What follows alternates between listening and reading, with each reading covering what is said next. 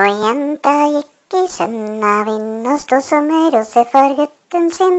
En langa ut en kraftig arm og rikte så inntil sin hjertenebban. En hatt med slår og silkestrå, en kjole med blomster på kragen. To hvite skor med sløyfer på og strømper så klare som dagen.